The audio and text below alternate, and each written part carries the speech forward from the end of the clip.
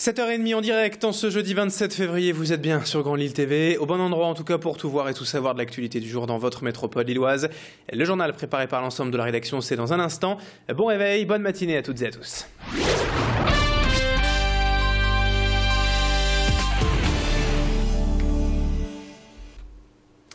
Et une image en musique. Tout d'abord, on démarre cette édition, cette belle initiative de l'ONL pour occuper les enfants pendant les vacances et leur faire découvrir la musique.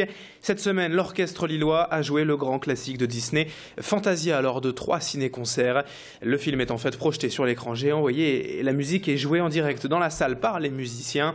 On y retrouve ainsi Mickey en chef d'orchestre, dirigeant d'une main de maître, l'apprenti sorcier de Dukas, l'oiseau de feu de Stravinsky ou encore le casse-noisette de Tchaïkovski.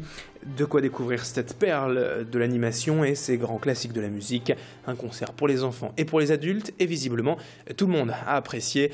Macha Grunessen était au Nouveau Siècle hier après-midi. La musique, elle a été un peu trop fort. J'ai bougé mes oreilles, mais j'ai bien aimé. Ils étaient bien ensemble. C'est la première fois que tu vois là un orchestre? Oui. Et alors, est-ce que ça t'impressionne? Bah oui, un peu quand même. Bah parce que bah avant j'étais pas fan déjà de la musique classique et là bah ça me met de, dans la musique classique. Ça peut paraître peut-être un peu long et puis ils n'ont peut-être pas l'habitude d'écouter ce genre de musique, donc forcément avoir des images, ça les aide euh, à apprécier la musique. Pour voir cette euh, magie de musique et d'image qui m'a ému quand j'étais papa avec mes enfants et je suis bien content de transmettre à ma petite fille.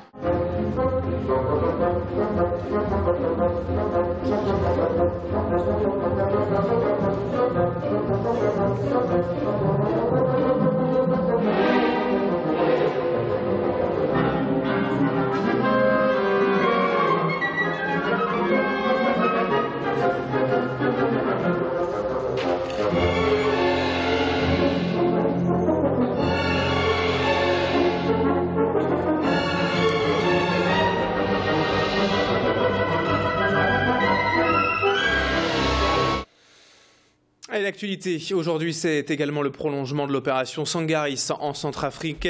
L'Assemblée nationale a voté mardi l'envoi prochainement de 400 soldats supplémentaires pour assurer la sécurité dans le pays. 2000 Français seront désormais sur place, mais si certains se félicitent de cette annonce, d'autres quand même se montrent plus réservés quant à l'action de la France en RCA. Isidore Adou, membre du collectif Solidarité dans la métropole illoise, est régulièrement en contact avec des habitants en Centrafrique.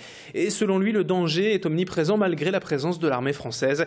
On écoute donc son témoignage. C'est Marion Villette qui l'a joint hier par téléphone.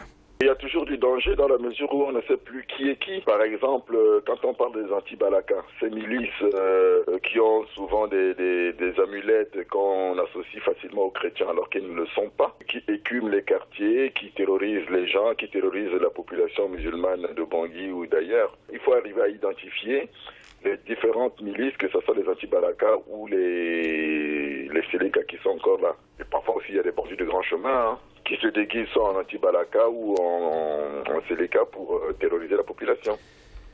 7h33 en direct sur Grand Lille TV dans le reste de cette édition puisque c'est encore l'hiver malgré des températures tout de même assez douces ces jours-ci. Gros plan sur l'un des plats les plus emblématiques de la saison, la tartiflette savoyarde. Les nordistes sont friands de fromage et de plats robustes durant l'hiver et en plus c'est très simple à, faire chez soi. Pommes de terre, oignons, reblochons, lardons, un petit tour de main et, voilà le tour est joué. Mais si vous préférez vous faire servir, direction cette enseigne spécialisée à, à l'homme. Ici tous les produits viennent de Savoie et il y a même des variantes nordistes avec du maroilles, le tout dans une ambiance de montagne. Idil Gunaï est allé prendre quelques conseils pour réussir sa recette chez elle et a rencontré le responsable de ce restaurant qui nous détaille donc ses plats adaptés. Les nordistes sont des, bons mangeurs. Enfin, vraiment, les nordistes apprécient vraiment euh, cette nourriture et, et euh, en gros, nous, nous on l'a adapté en, mettant par exemple le maroilles. Le maroilles, on met en avant le maroilles en, général, même le, le, cheddar, le welsh, on met le welsh aussi. Donc le, le on, décline, on décline la tartiflette en faisant une marolette. Donc à la place du reblochon, on met du maroilles. C'est des, petites connotations comme ça. On met, on met les avec du, euh, du maroilles dedans. Enfin, on essaie de mettre un petit peu de notre région avec la Savoie, de faire une petite association euh, qui fonctionne bien, je pense. Et puis on termine cette édition avec une idée d'activité pour les enfants pendant ces vacances. Du côté de M, nous sommes allés hier à la rencontre d'une artiste sculpteur, Sandrine Dugardin, qui a ouvert son atelier il y a tout juste un an, afin de transmettre sa passion, son savoir-faire. Alors toute l'année, elle s'occupe des temps d'activité périscolaire à l'école, deux fois par semaine, et pendant les vacances, elle organise ses ateliers d'initiation et d'apprentissage, des stages hein, tout simplement, où les enfants, les adultes aussi, peuvent s'essayer à la sculpture, en modelant à leur imagination de petits objets d'argile. Les créations passent ensuite au à 1300 degrés pour durcir et devenir de véritables œuvres. Comptez une dizaine d'euros la séance de deux heures. Présentation avec cette petite artiste au micro d'Idil Gunaï. Je suis en train de faire des animaux de la forêt. Euh, tu aimes bien travailler la terre euh, J'adore. Pourquoi? Je sais pas, c'est c'est euh, c'est doux, c'est c'est facile en fait. C'est comme la pâte à modeler, c'est un jeu en fait. J'ai fait un bol et, j'aimerais bien faire un vase, mais je vais plutôt le faire euh, plus tard. Puis là, je préfère faire les animaux. Et pourquoi des animaux? Parce que j'aime bien les animaux et j'aimerais bien les mettre dans ma chambre. Et c'est la fin de ce journal, 7h36 minutes en direct sur Grand Lille TV en ce jeudi 27 février. Et bonne matinée à toutes et à tous. Voici dans un instant la météo et l'infotrafic du jour.